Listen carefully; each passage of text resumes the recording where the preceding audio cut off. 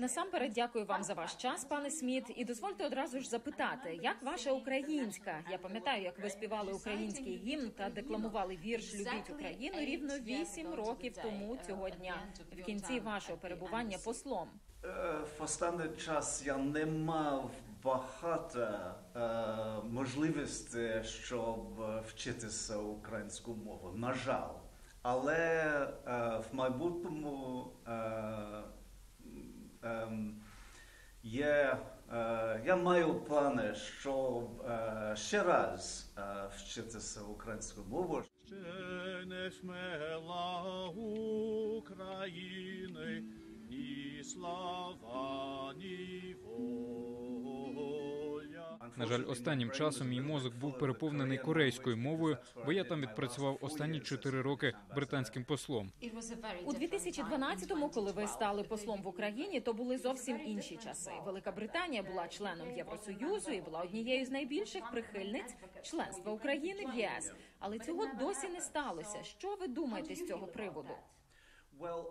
Я думаю, ми розуміли у 2012-му, що приєднання України до ЄС це процес, який триватиме кілька років. Коли я приїхав, то не очікував, що до 2015-го Україна стане членкиною ЄС.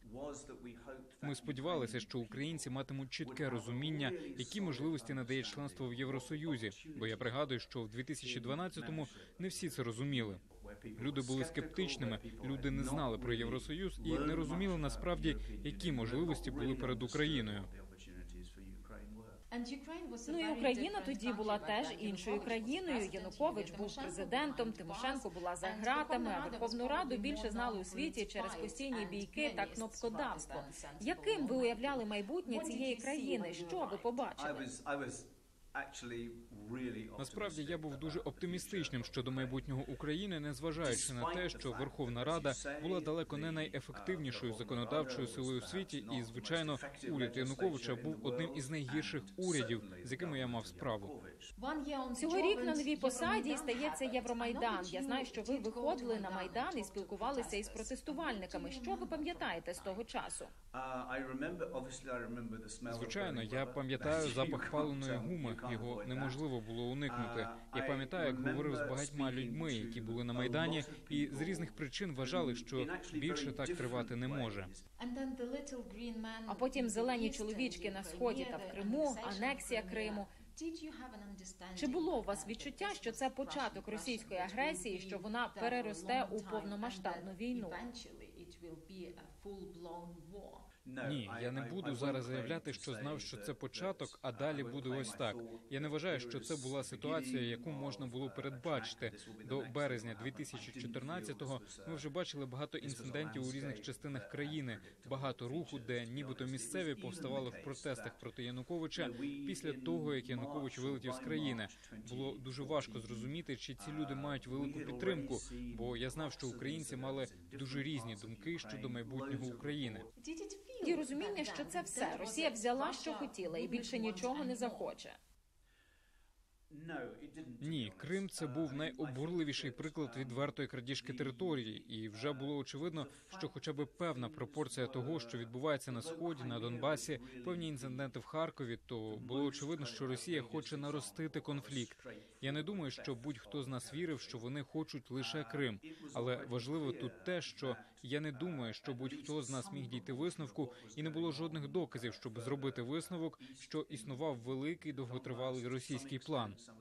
Припущення в багатьох столицях Європи та Атлантичної спільноти було казати те, що сталося погано, але існують важливі елементи відносин Путіна з рештою світу, які він мусить розуміти, що для нього надто цінні, і він надто залежить від них, щоб просто викинути їх тим, що розгорне війну проти України.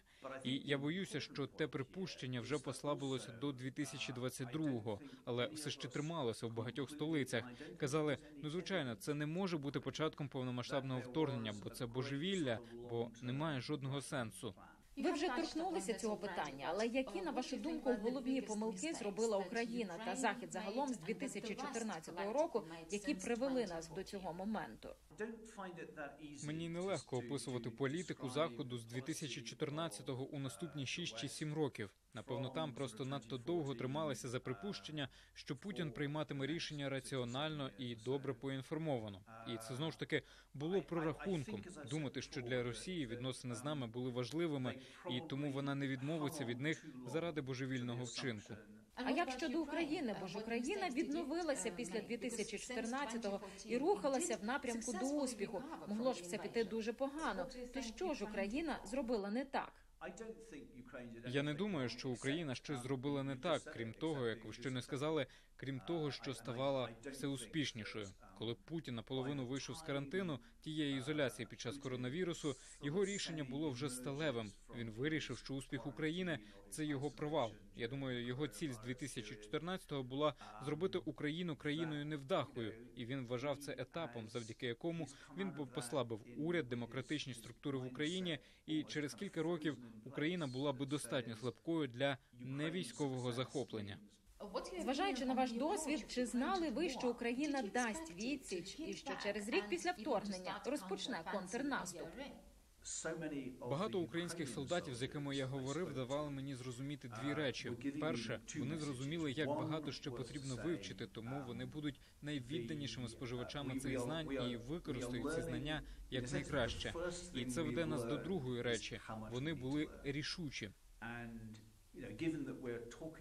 Оскільки ми з вами говоримо в день незалежності, то я сподіваюся, що іще один аспект продовжить посилюватися. Це впевненість українських прихильників та союзників, що нам потрібно знайти нові та додаткові шляхи, щоб допомогти Україні виграти цю війну. Є люди, які пропонують рішення, які вони називають простими, але існує лише одне просте рішення. Воно дуже дуже просте, і воно полягає в одному: Путін виводить своє військо з України. Ми мусимо не здаватися, не полишати зусиль, знаходити нові шляхи, щоб Росія тріснула і зламалася. Якщо вона не зробить цього простого кроку, не піде з України. Ви говорите про військовий успіх. Тож я хочу вас спитати, чи пам'ятаєте ви, коли у 2014 році ви відвідали випускний в Національному університеті оборони України і подарували меч королеви найкращому випускникові? Так, так, пам'ятаю.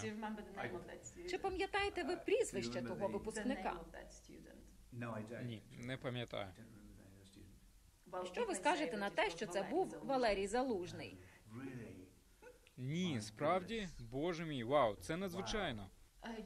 Ви були під час народження операції Орбітал в Україні, яка переросла в операцію Інтерфлекс. І Ми знаємо, що Британія почала допомагати Україні в 2014-му не лише з військовою підготовкою, але й фінансовою накладенням санкцій. А зараз ця допомога ще більш обширна. Як ви оцінюєте зусилля Великої Британії в допомозі Україні? Очевидно, зміст та цінність допомоги зросла. Всі це знають. І навіть в 2014-му я вважав, що допомога буде тривалою і ростиме. Одна із речей, які мене сильно надихнули за останні два роки, це ступінь, до якої британський народ дійсно розуміє вимір цієї жахливої війни, якою невиправданою та непотрібною вона є, і рівень публічної підтримки України дуже надихаючий. Я виїхав з Кореї, і до вторгнення ще залишалося більше місяця. І коли воно сталося, то я подумав, що робитиму все, що можу, щоб допомогти будувати ось це розуміння серед британців. Я надто старий, щоб фізично воювати чи щось таке, але я можу допомогти своїм знанням та досвідом людям зрозуміти, що відбувається, що це не та ситуація, коли є два боки питання. Що це не ситуація, коли можна розпочати класичні перемовини, коли можна кидати багато поступок Путіну, щоб він припинив. То невже ви кажете, що війна в Україні фактично вплинула на те, чим ви зайнялися після виходу на пенсію з дипломатичної служби? Я не маю роботи зараз. Я працюю на волонтерських засадах на Королівський інститут міжнародних справ Четем Хаус. Я не маю платної позиції. Я роблю все, що можу, щоб допомогти зусиллям українців. Чи є щось, що ви хочете сказати українцям в День Незалежності? Так, я думаю, що День Незалежності цього року має особливе значення, тому що багато людей у Великій Британії зрозуміли, коли дивилися на героїзм українців на фронті та й у загальному зусиллі протистояти російській агресії та захищати їхню країну. Британці дійсно зрозуміли, що означає українська незалежність, і наскільки сильною є відданість українців захищати їхню незалежність. І я вважаю, що нам випала честь бути частиною цього зусилля, утримати незалежність України. І це мусить бути в думках людей, особливо в День Незалежності 2023 року.